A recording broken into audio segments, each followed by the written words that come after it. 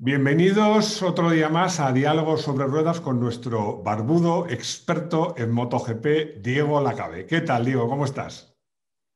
¿Qué tal? Gas y cabeza para todos y, sí, barbudo, con la voz un poquito tomada hoy de tanto viento, pero, pero sí, sí, barbudo, barbudo, que oye, que el otro día me dijeron que eso de haberme apostado la barba a que, a que volvía a llamar ahora en pretemporada, que, que nada, que me la fuese arreglando porque, porque a lo mejor tenía que aguantar mucho con la barba. Bueno, se te ha puesto voz de hombre, eso sí, así que entre la barba y la voz de hombre pareces otro. De todas maneras, yo no me solidarizo contigo porque le voy a contar una anécdota rapidísima.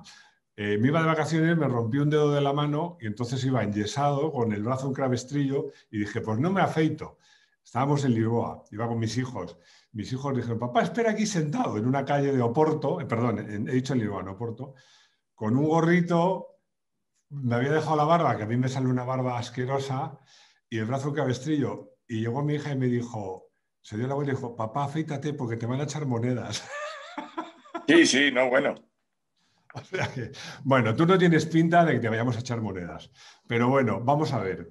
Eh, nos tienes que contar algo, porque de alguna manera parece que se está dejando entrever o decir explícitamente que en algún momento Mark, ha mentido acerca de su, de su, vamos a llamarlo, enfermedad o de su lesión, ¿no? Pero aquí hay un mar de fondo que es lo que tú nos vas a contar, ¿no? Tú Diego Lacabe nos va a desmontar esta teoría de la conspiración. A ver, ¿o no? Sí, sí, sí, la vamos a desmontar completamente eh, y todo tiene que ver con, el, con el famoso episodio de la ventana. Insisto en que a mí me da rabia tener que estar hablando de todo esto del año 2020 cuando tú y yo además lo analizamos todo en cada momento, pero, pero bueno, es que es así y aquí lo que hay es un mar de fondo soterrado, una lucha de poderes donde hay dos o tres claves que vamos, que vamos a ir contando. Y bueno, que lo que yo creo que, debemos de poner el granito de arena es que eh, eh, el, futuro Mar Márquez eh, en MotoGP no sea el daño colateral de estas batallitas de poder.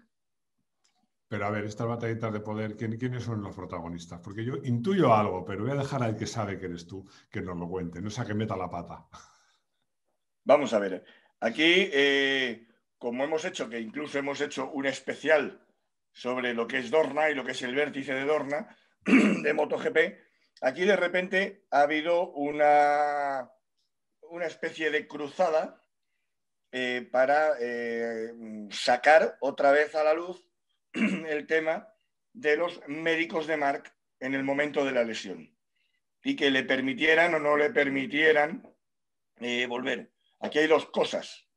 Una es la operación que se hace, la de Exeus, en ese momento totalmente exitosa, sin ningún tipo de contratiempo con lo de la bacteria, eso fue en la segunda, y que eso es una operación, insisto, absolutamente inmaculada por parte del doctor Mir, que es verdad, a Mark le dice, esto que te he puesto ya ni se mueve. Y luego ese ímpetu de Mark por volver a Jerez en 48 horas y el tipo de prueba físicas que le hacen en la clínica móvil y ahí es donde se está atacando, se está atacando más. ¿Y qué ocurre? Se considera, que fueron muy laxas, ¿no?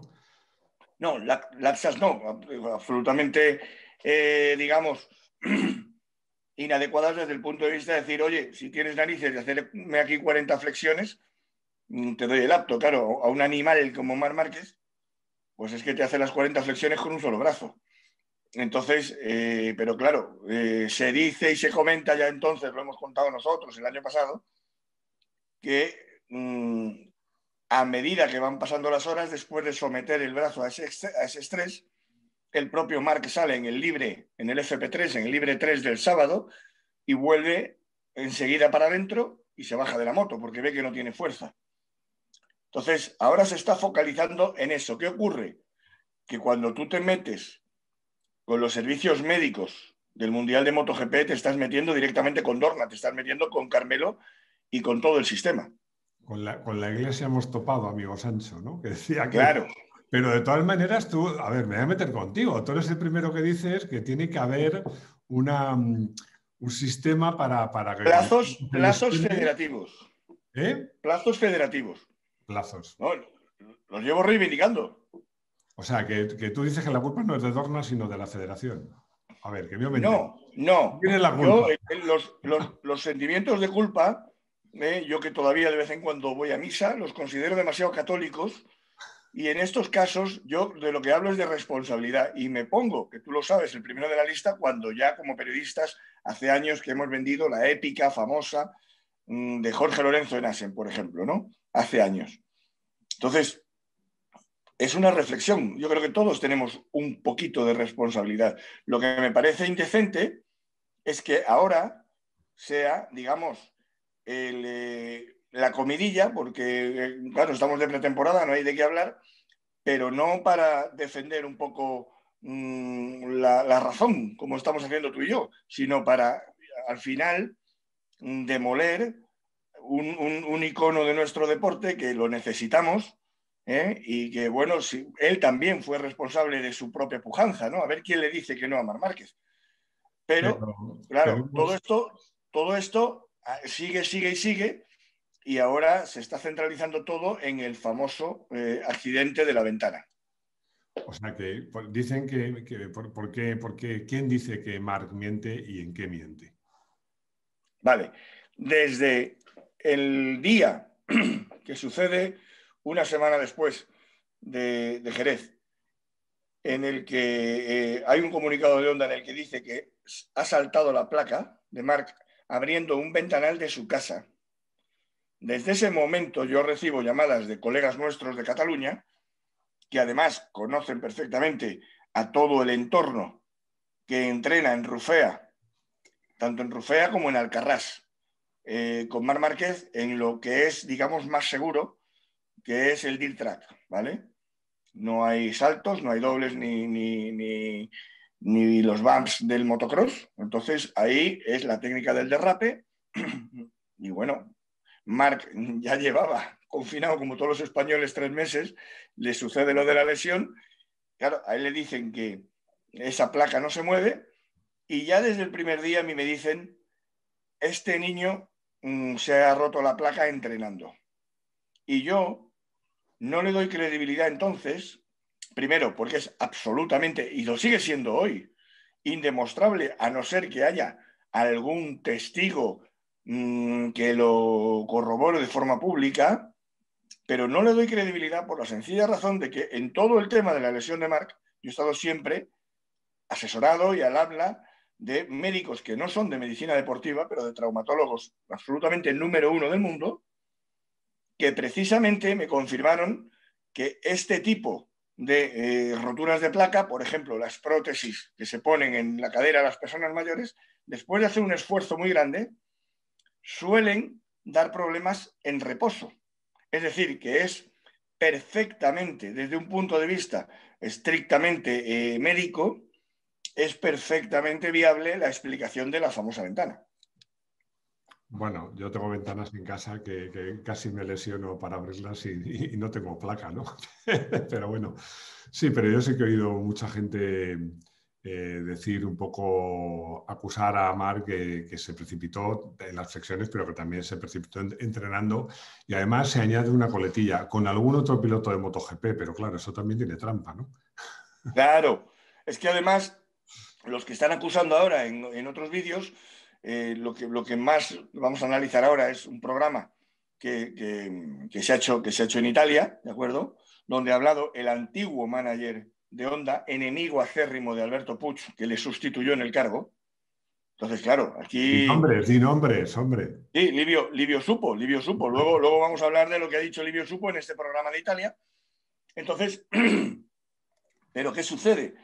Sucede eh, que, bueno, que, eh, claro, en ese programa hablan hasta, pero no, digamos que tiran la piedra y esconden la mano, porque como bien dices tú, hacen la broma como diciendo que hay testigos que eh, Mark estaba cuando, no entrenando, no dicen entrenando, pero cuando sucede el evento, dicen, Mark estaba eh, con otro piloto de MotoGP. Y bueno, es que es verdad, estaba viviendo con otro piloto de MotoGP que era su propio hermano, Alex Márquez. Entonces, o que incluso eso nos puede llevar, pero es que, insisto, es que es 1 de febrero de 2021. Entonces, lo que realmente mm, vengo yo a denunciar aquí con tu ayuda es, eh, no que estemos hablando de esto, porque tú sabes que yo soy capaz de hablar de cualquier cosa, sino de que algunos estén, digamos, haciéndose eco de una guerra soterrada dentro de MotoGP para ver a quién, digamos, le hacen, eh, a cuál de estos poderes le hacen la pelota, porque aquí, y vamos ya al meollo, lo que tenemos al final es una guerra entre el propio entorno de Marc personalizado en su manager, que es Emilio Alzamora, que yo ya lo he dicho muchas veces, lo han dicho en este programa, aquí lo dijimos por activa y por pasiva, eso sí que era una información que yo tenía de primera mano, fue el único, el único dentro de la reunión con Dorna, con Honda, en Jerez, que dijo, esto es una locura y no, debería, no deberías ni de haber venido. ¿Vale? El único que desde el minuto uno, como yo, dijo, esto no deberíamos hacerlo. Pero Mark tenía otra serie, digamos, de, mm, de grandes jefes animándole el cuadro médico al completo de la clínica móvil, el sistema de MotoGP, encantado con, que, con la repercusión mediática que eso tenía, y eh, Alberto Puch, team manager de Honda. Entonces, cuando ahora Livio Supo dice esto en Italia, Livio Supo fue despedido de Honda y pusieron en su lugar a Alberto Puch, eh, realmente está haciéndose eco de una guerra sorda entre un director deportivo de un equipo de fábrica, nada menos que de Honda, Alberto Puch, y el manager eh, de Mar Márquez, que han sido toda la vida como el agua y el aceite. Te cuento una anécdota para que explique esto perfectamente. En 2008 llega Mar Márquez al Mundial, 125 con KTM. Se rompe el brazo en Jerez en la pretemporada, por cierto. ¿Eh? Y está ahí, ya él llega ya de la mano de Emilio Zamora, que es su manager. Alberto Puig, que estaba detrás con Repsol también de, ese equipo de KTM de 125, hace lo posible y lo imposible por conseguir que Mar Márquez le elija a él como manager. Porque además, y eso nos pasó a todos, yo entonces era director de una revista, todos en el año 2008 vivimos el advenimiento de Mar Márquez y realmente todos nos dimos cuenta de que había llegado un, Mesías. ¿no? Entonces, ahí hay unas semanas de pretemporada una auténtica batalla entonces, y todo viene de allí, ¿eh? en la que Alberto intenta quitarle, entre comillas, a Mar Márquez a Emilio Alzamora. Y no lo consigue. Es el propio Julián Márquez el que tiene que hablar con Alberto y decirle, oye, Alberto, vamos a acabar, dejémoslo ya, porque es que eh, el chico quiere trabajar con Emilio y, y va a seguir con Emilio. De hecho, sigue con Emilio. De hecho, permíteme, no le ha ido nada mal con Emilio. No, y no le ha ido nada mal, pero en el momento en el que llega de team manager al Repsol Honda Team, eh, Alberto Puig, que lo primero que hace es poner todas las bases para que Dani Pedrosa tome la decisión de retirarse, se trae de Ducati al único tío que le podía hacer sombra a Marc, que es Jorge Lorenzo, y lo retira en un año, y luego consigue el contrato famoso de cuatro años que empieza ahora, sí que es verdad que la relación muy cercana, muy de piloto a piloto de sangre, porque es que Alberto Puig es otro piloto de sangre. Emilio Zamora, pues es campeón del mundo de 125, eh, el año 99, eh, bueno, pero es un tío, digamos, más, más reflexivo. Alberto es sangre pura, como lo es Marc, ¿no? Entonces ahí, ahí, digamos que años después, en la madurez del piloto, se han reencontrado y tienen una relación paterno-filial espectacular que cuando ha habido esta crisis, ese es en quien se ha apoyado para decir que yo vuelvo, que yo puedo volver. Y todo lo que se está sacando ahora es no por el pasado, sino porque, evidentemente, el problema es que si yo me tengo que dejar la barba, digamos hasta mayo, Mar Márquez no cobra hasta junio, pero es que su manager tampoco cobra, cobra su porcentaje, su porcentaje del, del, del, contrato de Mark. Hablábamos la semana pasada de que el contrato de Mark tiene el montante que tiene porque Mark eh, tributa en España. Emilio Zamora no, Emilio Zamora es andorrano. Por lo tanto, digamos que tiene un, margen importantísimo ahí de ingresos que si su piloto no corre, él no cobra. Entonces, están saliendo estos piques, se está llamando, se está hablando con esos periodistas cortesanos con los que nos hemos metido la semana pasada, que es decir, que en Italia que hagan el programa de televisión o en Francia que hagan un artículo que aquí en España lo reflejamos y lo ponemos. ¿Qué es lo que nos están dando cuenta estos periodistas? Que al final el auténtico daño colateral es el propio Mar Márquez. Porque hablar de la ventana, tener que defender la credibilidad de la ventana como lo estoy haciendo yo el 1 de febrero del año 2021, es absolutamente demencial. Bueno, en definitiva, vamos a hacer un resumen porque has contado muchas cosas, pero voy a tratar de poner orden. Es decir, eh, Alzamora y, y Alberto Puig no tienen una gran buena relación. Eso está claro. Eh, en su momento Mar Márquez eligió a Alzamora, yo creo que hizo bien porque tú dices que Alzamora es más reflexivo y Mar Márquez más impulsivo, yo creo que por eso se compenetran bien, pero al final el que apostó porque volviera antes de tiempo fue, fue Alberto Puig. Mientras tanto, lo que tú dices de Silvio Lupo... Eh, de, Livio, de, Livio Supo. Livio Supo, le cambia el nombre. Eh, es normal, eso está escrito en todas partes. Me despiden, pues voy a, tratar de eh, tirar torpedos a la línea de flotación del que me ha despedido. O sea, del que me ha sustituido, no el que me ha despedido.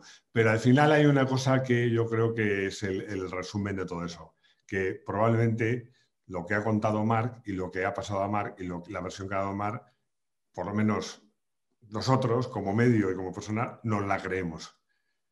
sí, sí, de entrada. Ahora, fíjate Claro, la memoria es muy frágil, han pasado tantas cosas, estos detallitos en un año tan extraño como el pasado, el año 2020.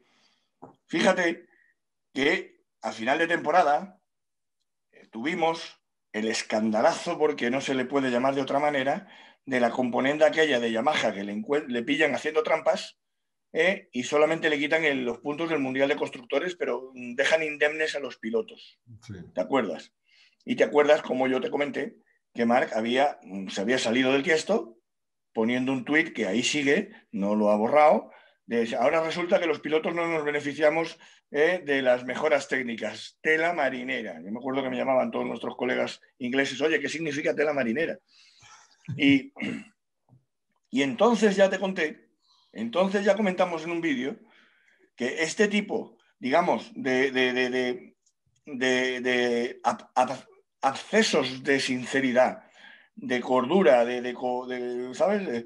Pues al sistema, a veces, que, además al propio Carmelo le costó mucho que Suzuki tragara, que, tragaran, que tragara Ducati. Honda dijo, bueno, yo es que como no me juego el mundial, pero realmente eh, que de repente saques los pies del plato de esta manera te, puede pasar factura en el, en el futuro.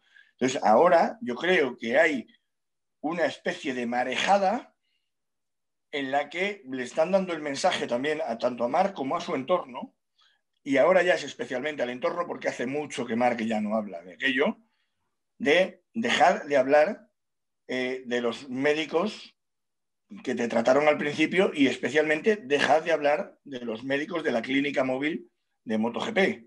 Dejémoslo estar. Pero sin embargo, por detrás sí que azuzan a estos periodistas que defendían a capa y espada a esos médicos ¿eh? en, verano ¿eh? y que eh, están siempre con la coletilla de que ahora es cuando tienen que dar la cara. No, mire usted, o sea, si lo pasado, pasado está. Pero, insisto, están pisando un callo muy gordo porque si tú te metes, insisto, si tú te metes con la clínica móvil de MotoGP, que por cierto, tiene unos éxitos médicos, o sea, las vidas que han salvado, o sea, eso no tiene nombre, ¿eh? te estás metiendo directamente con, MotoGP. ¿eh? Y si te metes con MotoGP, te estás metiendo con Dorna, y si te estás metiendo con Dorna, te metes con Carmelo Peleta. Que es un mal enemigo. es un mal enemigo. No, de todas maneras, es muy lamentable, eh, al fin y al cabo, los intereses, la política y el dinero. Yo estoy deseando que Mar se ponga bueno porque te digo una cosa, todos estos maros de fondo, estos dimes y diretes, este politiqueo, tal, se acaban cuando Mar se sube a la moto. Porque ahí, cuando él está encima de la moto, no hay política. Correcto, correcto. qué grande reflexión. Ahí se acaba toda la política y todas las disculpas y todos.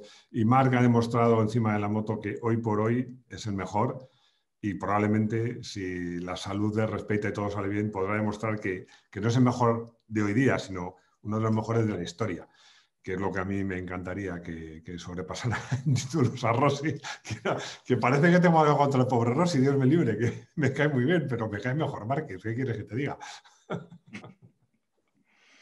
A mí, me, a mí me parece magnífico. A mí me parecen igual de caníbal que de caníbales los dos.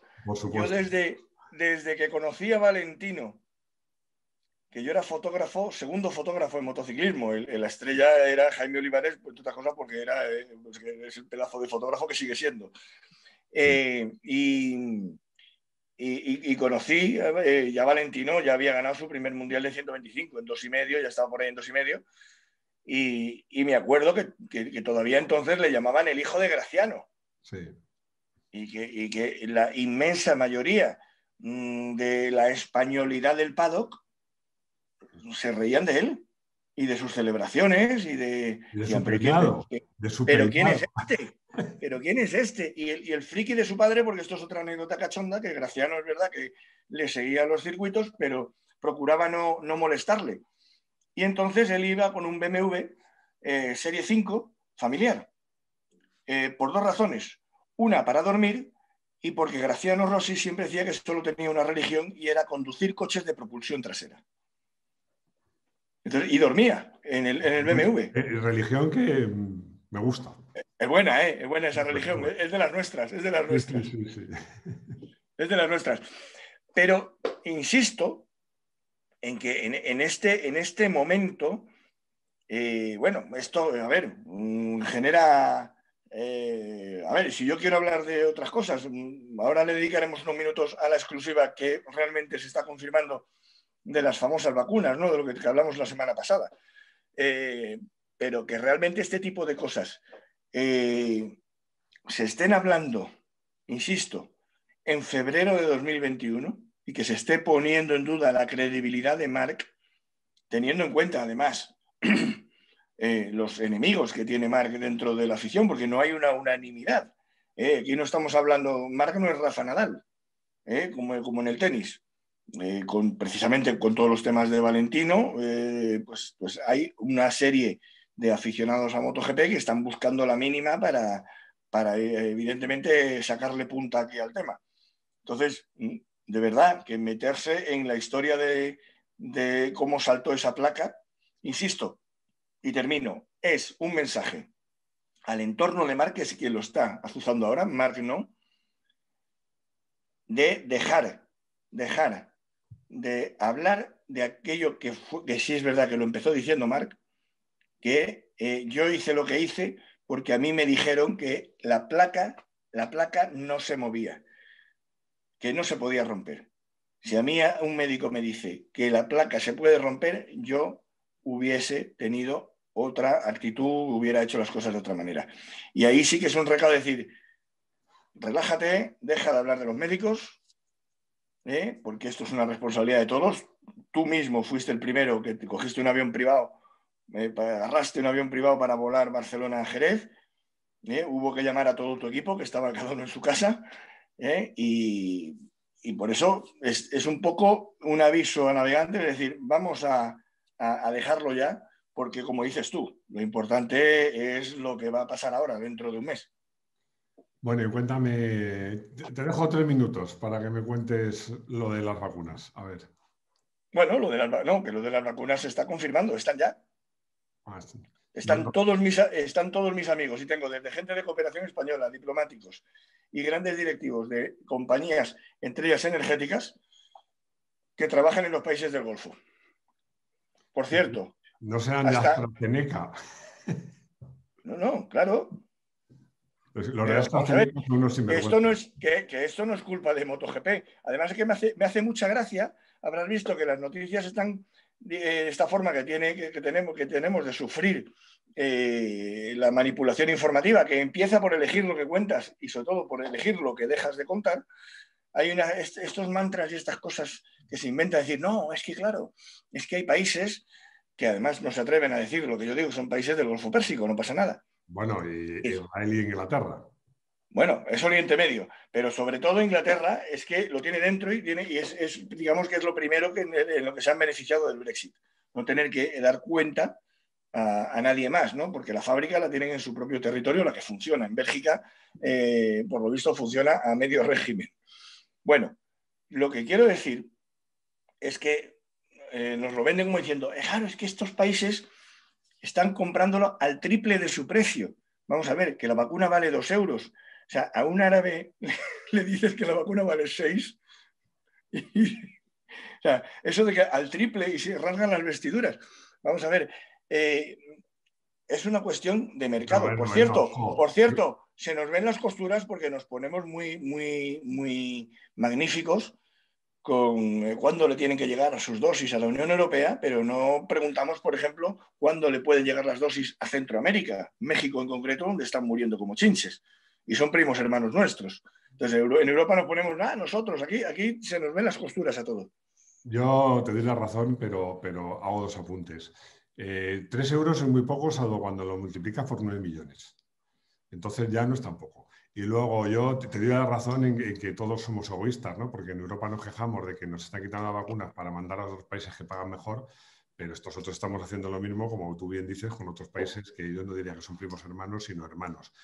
Pero dicho esto, macho, yo como, como ciudadano de a pie, que si firmo un contrato con la administración y no lo cumplo, se me cae el pelo, más alucino que AstraZeneca firme un contrato, lo incumpla y no pase nada.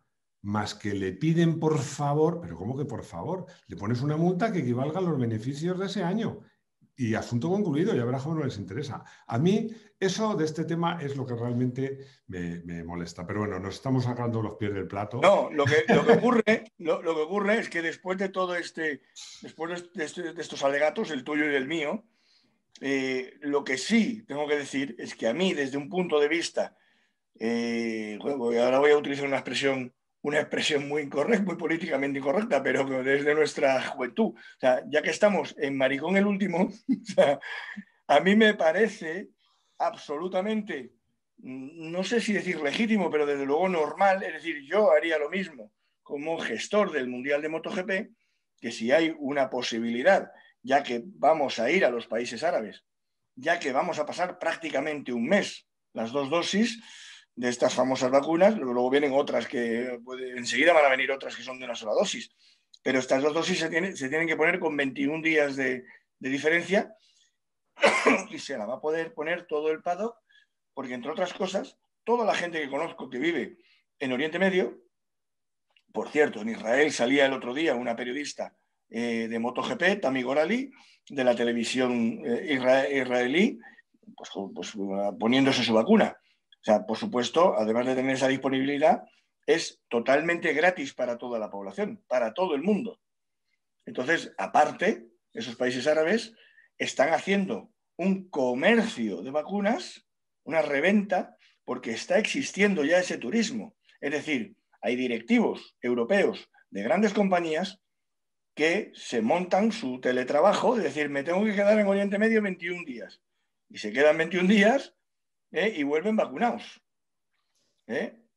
Bueno, yo en, ese contexto, en ese contexto, lo que tiene planeado, que por supuesto no, lo va a confirmar ni, lo va, ni, va a decir absolutamente nada, eh, MotoGP, me parece absolutamente inteligente por su parte. No, pero si a mí que sea inteligente me parece, es, obvio.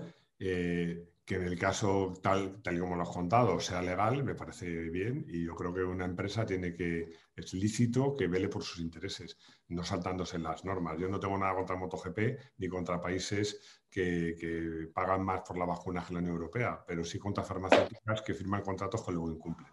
En fin, yo es un tema muy sensible de que no, yo creo que nos tenemos que centrar en MotoGP y a ver cuando hablamos de carreras, de motos, de pilotos, de gestas, de salvadas y de esas cosas que a mí por lo menos es lo que más me gusta y lo que más me apetece. Pero bueno, de eso también hay que hablar y a ver cuándo te veo sin barba, que será una magnífica noticia. lo, malo es que me he acostumbrado, ¿eh? y con, este invierno que estamos teniendo, que es de verdad, pues, pues la verdad es que es muy cómodo, pero sí, sí, suscribo absolutamente. Y, pero bueno, de todas maneras, oye, hay estas, estos, estas cosas de virilla ¿eh? que, que, está bien. Bueno, ahora, por ejemplo, a nivel informativo, para rematar, el día 10 y 11 lo ha, lo ha desvelado motorsport.com eh, todos los pilotos de, Ducati eh, y también va a estar Estefan Bradal de Honda. Eh, se, van, se van a reunir dos días en, Jerez de test.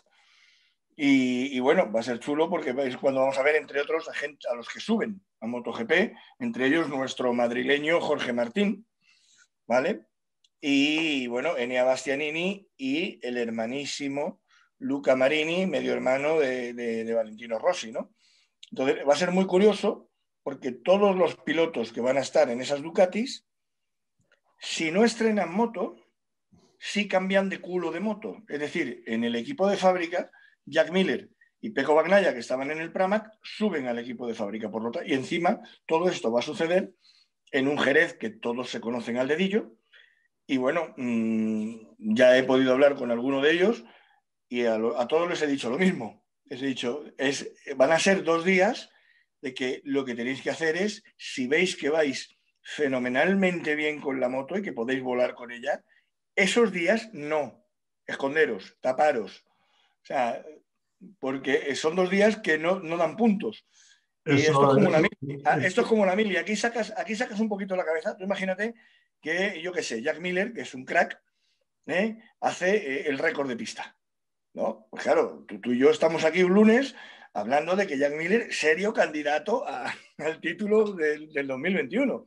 Por lo tanto, con los que he podido hablar, se lo he dicho claramente, les he dicho, oye, de verdad, tapa, poneos un chubasquero y taparos y que no se os vea. Yo creo que eso, un piloto... Difícil, difícil, es, difícil. Es muy difícil. Es muy difícil, pero bueno, ya lo veremos. Ojalá llegue Jorge y le repite un repasito a todos. Eso sería una buena noticia. Bueno, eh, Diego, como siempre agradezco tu tiempo y muchas gracias por lo que nos has contado. Eh, yo por lo menos me lo he pasado bien y nos vemos una semana, si te parece. Pues claro, aquí, estaremos y seguiremos contando más cosas. Casi cabeza para todos. Chao.